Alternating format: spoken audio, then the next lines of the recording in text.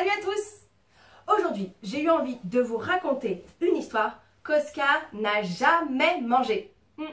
Non, non, vous avez deviné pourquoi? Non, non, non, non, non, c'est pas parce qu'il a peur des trois brigands, non. Oscar, il a peur de rien. Hmm. Non, c'est parce que surtout, euh, le livre, il est quand même plus gros qu'Oscar. Alors euh, ça, c'est vraiment sa limite. Hein. Il, peut pas, il peut vraiment pas le manger, celui-là. Hmm. Bon, eh ben, écoutez, ce qu'on va faire, c'est que moi, par contre... Non, non, non, je vais pas le manger. Non, ben non, non, mais je vais vous le raconter. Hmm.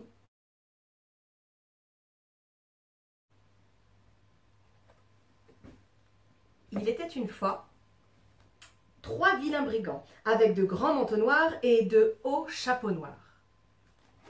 Le premier avait un tromblon. Le second avait un soufflet qui lançait du poivre et le troisième une grande hache rouge. La nuit, au clair de lune, ils se tenaient cachés au bord de la route.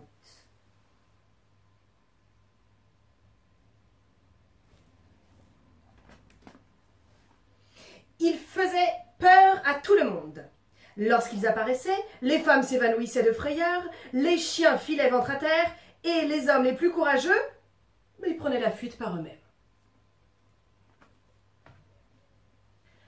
Si des voitures passaient, ils soufflaient du poivre dans les narines des chevaux, et naturellement, les voitures s'arrêtaient. Alors, ils démolissaient les roues. Puis, avec le tromblon, il menaçait les voyageurs, puis il les dévalisait. Leur cachette était une caverne en haut, tout en haut de la montagne. C'est là qu'ils transportaient ce qu'ils avaient volé.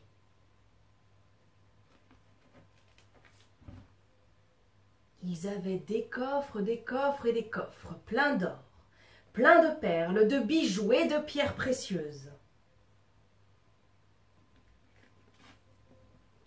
Mais voilà qu'une fois, par une nuit très sombre, ils attaquèrent une voiture où il n'y avait qu'un seul voyageur. Et c'était une pauvre petite fille qui s'appelait Tiffany. Elle était orpheline et elle se rendait auprès d'une vieille tante grognon chez qui elle allait vivre désormais. Et ça, ça ne lui plaisait pas du tout. Alors elle fut bien contente, Tiffany, lorsqu'elle découvrit les trois brigands tout à coup qui se dressèrent devant elle. Comme il n'y avait dans la voiture rien d'autre à prendre que Tiffany, les trois brigands l'emportèrent précieusement jusqu'à leur caverne. Là, ils lui firent un joli lit moelleux.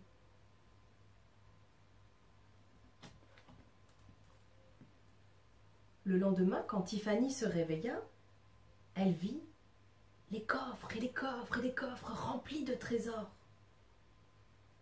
Ouais. Mais qu'est-ce que vous faites de tout ça demanda-t-elle aux trois brigands. Ils se regardèrent tout étonnés, ma foi. Jamais ils ne s'étaient posé la question de tout ce qu'ils pourraient faire avec euh, ces richesses. Alors, comme la petite Tiffany leur plaisait beaucoup, ils décidèrent de partir à la recherche d'autres enfants malheureux, abandonnés, et de s'occuper d'eux. Ils achetèrent un magnifique château pour loger tous ces enfants. Chaque enfant reçut un manteau et un chapeau, comme ceux des brigands, mais rouge. Naturellement, cette histoire fut vite connue dans toute la région. Et chaque jour, de nouveaux orphelins étaient abandonnés à la porte du château.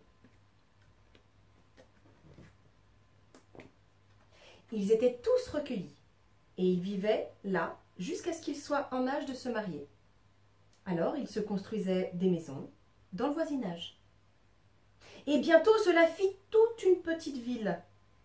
Tous ses habitants portaient un manteau et un chapeau rouge. À la fin, ils bâtirent une muraille tout autour de la ville avec trois tours imposantes, une pour chaque brigand, pour les remercier. Cric et crac, mon histoire est finie pour aujourd'hui. À bientôt